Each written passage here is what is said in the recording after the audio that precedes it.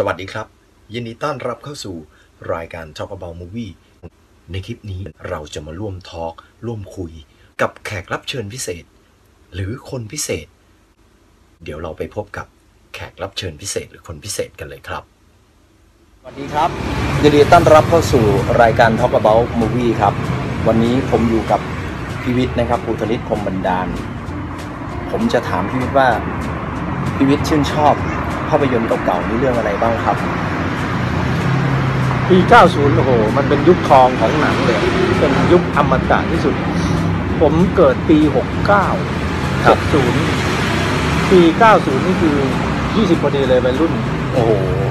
ดูหนังเป็นว่าเล่นเลย แต่ว่าช่วงนั้นก็จะมีเอ่อ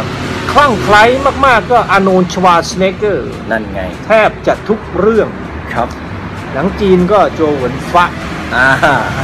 แล้วช่วงนั้นหนังไทย ก็ไม่ค่อยมี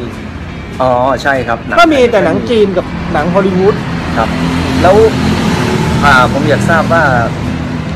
ถ้าถ้าพูดถึงยุค 90พิวิทย์จะนึกถึงหนังเรื่องอะไรที่พิวิทย์กล่าวมาของอาโน แล้วก็โจบันฟ้าเจ้าบนฟ้านี่ประทับใจที่สุดเลยคือโหดเร็วดี อ๋อ A Better Tomorrow โหดเร็วดี ปี 1989 ใช่ครับ โหดเร็วดีโหดเร็วดีครับ เร็วดีแล้วก็อ่าถ้าหนังหนังฮอลลีวูดเนี่ยก็อ่าช่วงก่อนหน้าที่จะมีก่อนหน้าที่จะจะมารู้จักอานูนชวาชเนเกอร์นี่ก็ดูเรื่องโคแนนโอ้โคแนนนี่มันยุคไหนวะ โอ้โหแปดศูนย์ป่ะแปดเลยพี่แปดศูนย์ใช่ไหมพอผมเก้าว่าจะศูนเป็นย์นี่มันเริ่ม เก้าศูนย์นี่มันจะเป็นเริ่มแนวยิงถใช่ล่มใช่ทครับลายนะถพีล่มเดป่าเตอร์แล้วอย่างพีเงี้เดยเตอร์อะไรประมาณนี้ครับเออ พอดีก็นั่นแหละครับ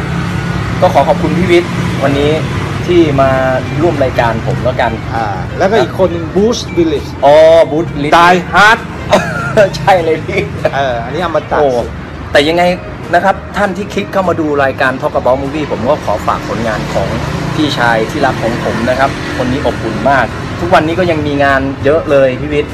เรียกว่าจะมีเวลาได้มาคุยกันนี่ก็โอ้โห ตอนนี้เรื่องอะไรครับ on air อยู่ ละครที่กำลังจะเข้า เจ้าสมิงเจ้าสมิงนะครับ ยังไงก็ฝากด้วยทางช่องเจ็ดสีทีวีเพื่อคุณยังไงก็ขอขอบคุณพี่วิทย์นะครับ พี่ชายที่น่ารักของพวกเราครับขอบคุณครับแม่ ก็ต้องขอขอบคุณพี่วิทย์พุทธลิตพรมบรรดาอีกครั้งนะครับ ที่ให้เกียรติมาร่วมรายการกับพวกเรา Talk About Movie